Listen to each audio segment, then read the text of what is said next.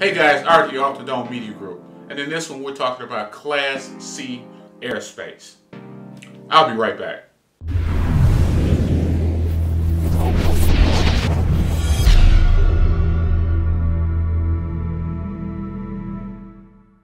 Alright, Class C airspace is like Class B airspace in the sense that it is controlled airspace and requires authorization prior to entry. Now, as you see, Class C airspace is a step down from Class B or Bravo airspace.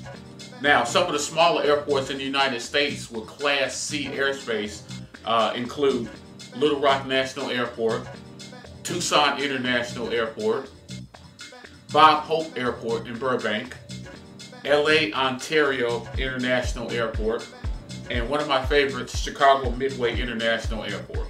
The altitude is from the surface of Class C airspace to the top of Class C airspace or the bottom of Class B airspace.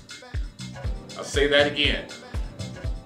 The altitude of Class C airspace is from the surface to the top of the Class C airspace or the bottom of Class B airspace.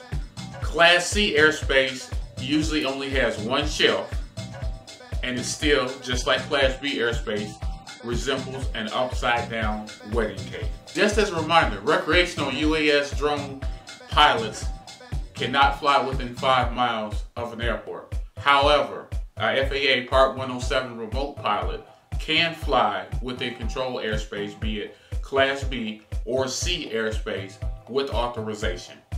Okay, this was just a quick overview of Class C airspace. But if you want to learn more and become a UAS drone super nerd pilot and piss off your friends, do what I did. Check out the always updated course for life at remotepilot101.com. The link is in the description below.